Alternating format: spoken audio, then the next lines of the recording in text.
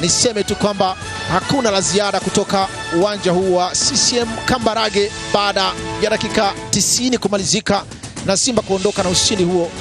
Mwadui moja Simba tatu. Tayari kwa hivi sasa tuko na makocha pande zote mbili. Kocha, ah, kwa leo mlianza kwa kasi, lakini mkianza kujiami, lakini ndani ya dakika zile za lala salama kwenye kipindi cha kwanza mkapotea na kuweza kuruhusu magoli mawili. Tatizo lilikuwa ni nini? Hamna tatizo yoyote, ukiwa na timu watoto vijana bado hawajakuwa na experience, ndio hivyo tu. Maelekezo ilikuwa vizuri, lakini mwisho wa mm, dakika 45 wakakuja kupoteza maelekezo, ndio shida tu kidogo tu. Kipindi cha kwanza mlipata nafasi kadha wa kadha, japo si nyingi sana, na washambuliaji wako wakashindwa kuzitumia. Ni pressure ya mchezo au na kucheza na timu kubwa? Sio pressure, watoto wanachezesha hawajakuwa na experience kubwa. Akija na timu kubwa mwenyewe anajitia pressure, lakini nikizani kufuatana na mechi tunacheza kila kila siku, wanaenda wanaprove kidogo kidogo, watakuwa vizuri inshallah.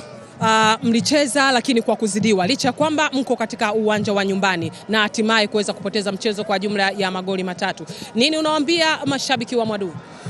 Bado mapema sana, hii ni ligi, tumecheza na timu yenye na experience kuzidi wachezaji wetu, na nikizani ni funzo nzuri, wamejua kitu makosa kwenye ipo, na ukicheza na Simba nikizani kucheza na zingine timu inakuwa vizuri zaidi. Wamecheza na timu kubwa wakajaribu kucheza, japokuwa mwisho wa dakika amekuwa na pressure, lakini nikizani ni experience hiyo, Nikutakia kila la heri kwa michezo inayofuatia. inshallah.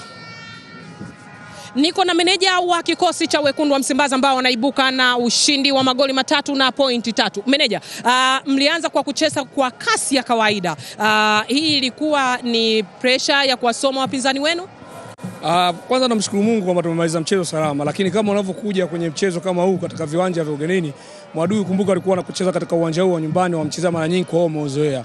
Sisi tulifanya mazoezi hapa jana kwa maana ku field ground, tuliangalia uwanja tukasema, tukianza kwa kasi kwenye uwanja huu tunaweza tukapoteza nafasi, maana kwa sababu kama unavyoona uwanja hauruhusu kucheza mpira vizuri. Kwa hiyo tukabidi tucheze kwa tahadhari kubwa kuhakikisha kwamba dakika 15 ya mwanzo mpaka 30 hatuwezi kuruhusu goli, huku tuna create chance kuweza kutafuta goli na kuongoza. Leo tumeona kwamba uh, kumekuwepo na mabadiliko. Mchezo uliopita uh, mchezaji Medi Kagere alitokea benchi, lakini wakati huo huo uh, Oku akaweza kuchukua nafasi yake, lakini leo Medi ameweza kucheza nafasi zote na kuweza kutengeneza nafasi uh, lakini pamoja na kuscore goal moja. Uh, hii ni, ni, ni matokeo yake ni nini? Uh, kama kimsingi nilivyosema juzi kwamba mpira ni mchezo wa makosa na mchezo wa kutreni. Kila siku tunapomaliza sisi tunaenda kufanya treni. Leo tumemaliza, kesho tutafanya kutreni. Yule ambaye ana train well ndo anakwenda kutokana na mfumo wa mwalimu. Kwa hiyo baada ya kucheza mechi yetu ambao Medi alifanya vizuri katika mazoezi na kwenye plani yetu, mwalimu akaona tukianza na Medi basi anze Medi, Boko akae nje akiangalia, lakini muda wote tukajua kwamba kama Boko asinge Boko singeweza kufanya vizuri Kagere, Boko angeendelea kuingia au Salamba au mwingine kwenda kuchukua, lakini wote ni yale mazoezi tunazofanya, lakini mwisho wa siku kuhakikisha kwamba tunaibuka na ushindi kwa kila mechi. Kuelekea kwenye mchezo wa watani wa jadi uh, dhidi ya Yanga Africans uh, tutegemee nini? Ushindi wa leo inaweza ikawa ndio mbio hizo? Kimsingi sisi tunajiandaa kwa kila mechi zote, tunajiandaa kwa mechi 38 kwenye ligi. Kwa hiyo tunajiandaa kwa mechi ya kwanza mpaka mechi ya mwisho.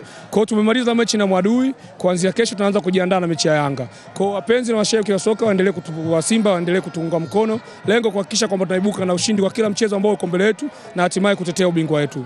Sisi ni soka, burudani inaendelea.